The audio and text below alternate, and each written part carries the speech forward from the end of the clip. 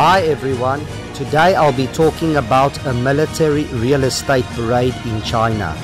Now it's important to keep in mind that the two elements aren't connected in any way. It all started when my wife was contacted by a real estate company called Polytimes to do a jeep escort of a military convoy to a show center.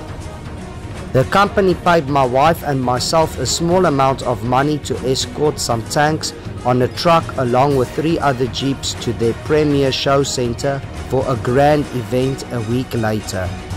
All the army tanks were old, decommissioned and non-functional. It took some time for the camera crew to prepare their equipment, but eventually we rolled out. The game plan was that I drive and follow the convoy with our yellow jeep, while my wife does a live TikTok stream for her fans.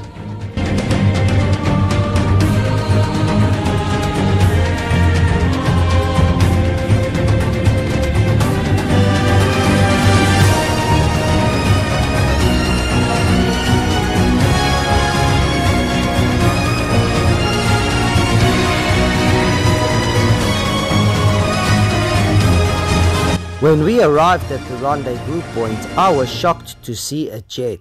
We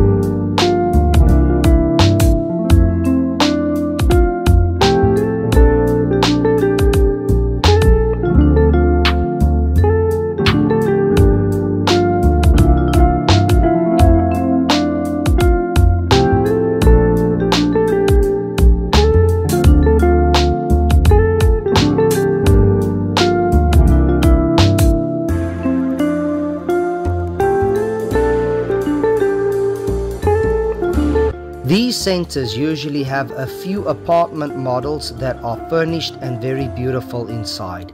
It's important to keep in mind that when you buy an apartment from a company, 90% of the time it's empty. Example, no tiles, no paint on the walls, no cupboards or stove in the kitchen, and no toilets or showers in the bathrooms. You need to decorate the apartment yourself or pay the company extra money if you want the same style as in the display model. This apartment is 108 square meters big and sells for about 1.2 million RMB before tax. You will need about an additional 200 to 300,000 RMB for renovations. This is a family apartment and has two bathrooms and three bedrooms.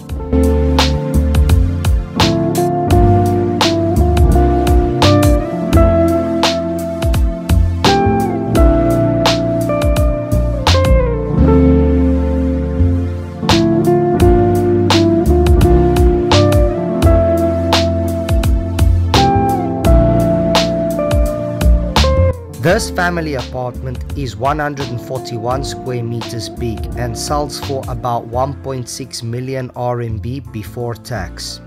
You will need at least an additional 300,000 RMB to decorate it. It has three bedrooms and two bathrooms and is a little more spacious than the previous apartment.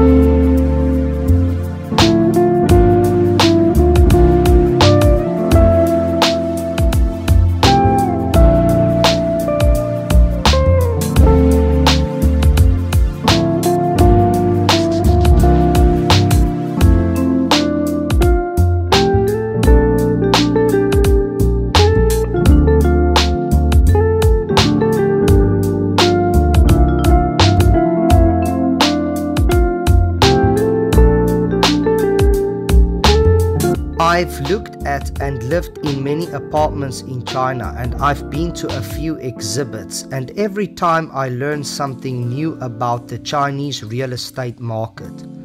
This experience was a very interesting one. I hope that you also learned something. Thanks for watching.